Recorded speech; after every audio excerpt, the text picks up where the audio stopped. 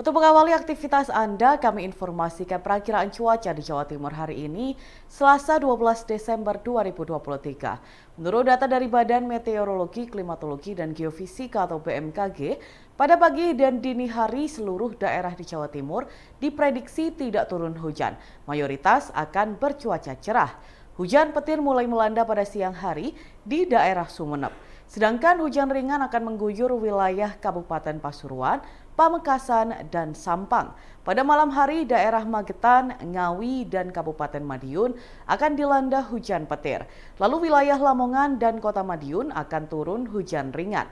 Sementara untuk daerah-daerah lainnya di Jawa Timur yang tidak disebutkan, diprediksi tidak turun hujan sepanjang hari, termasuk Surabaya, Sidoarjo, Gresik, dan yang lainnya. Tribuners, sekian informasi perakiraan cuaca di Jawa Timur hari ini, Selasa 12 Desember 2023. Terima kasih dan selamat beraktivitas.